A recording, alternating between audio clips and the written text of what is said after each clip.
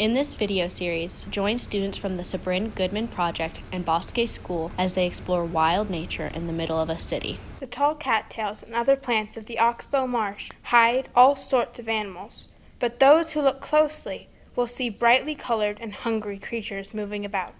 Many birds migrate here in the summer to feed within these plants, but one of the most colorful is the common yellowthroat. Using its flexible legs, it grabs onto the plants and travels through this living maze. However, it should be careful not to get too close to the water's surface, as this area is also home to the bullfrog, an amphibian as big as your face that will eat anything it can fit into its mouth from insects and minnows to even slow moving birds. Darting through the skies above the cattails, you may see all sorts of dragonflies, like the bright red flame skimmer, who hunt for the mosquitoes and other insects.